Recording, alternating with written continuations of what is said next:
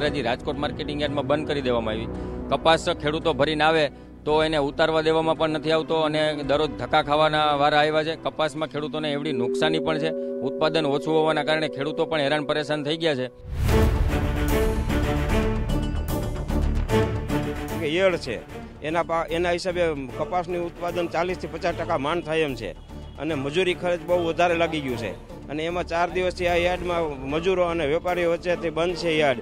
એના માટે તાત્કાલિક નિર્ણય લઈએ એવી અમારી ઈચ્છા છે.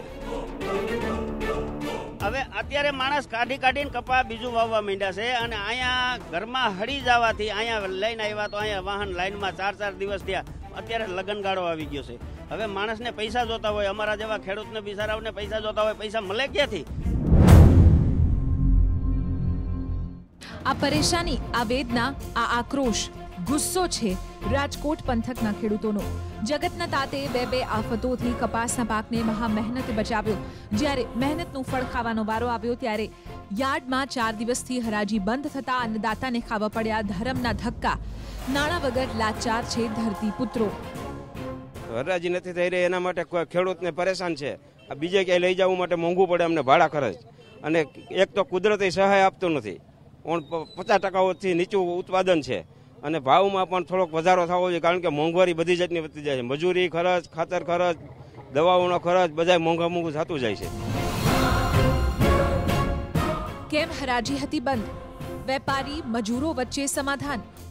ધરતીપુત્રોની પરેશાનીનું કારણ હતું માર્કેટયાર્ડ અને તેના સત્તાધીશો.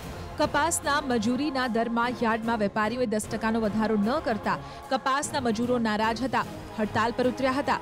જો કે ખેડૂતોના આક્રોશ અને રજૂઆત બાદ મજૂરો અને વેપારીઓ વચ્ચે સમાધાન થયું. વેપારીઓની મિટિંગ બોલાવી અને વેપારીઓને સમજાવી અને આ વર્ષ પૂરતું મજૂરી ન વધારવી અને આવતા વર્ષથી સિઝન ચાલુ થાય એટલે મજૂરોને મજૂરી વધારી આપવાનો નિર્ણય કર્યો છે અને આ નિર્ણય વેપારીઓએ પણ સ્વીકારી લીધો અને મજૂરોએ પણ સ્વીકારી લીધો, જેથી કરીને આ સુખદ અંત આવ્યો છે. દસ ટકા મજૂરી વધારવાનું આશ્વાસન મજૂરોએ માન્ય રાખતા ઘીના ઠામમાં ઘી પડ્યાનો ઘાટ ઘડાયો, જેથી ખેડૂતોની પરેશાની દૂર થઈ છે. ફરી યાર્ડમાં કપાસના ઢગલા થશે અને ધમધમતું થશે. Sachin Patil, TV nine, Rajkot.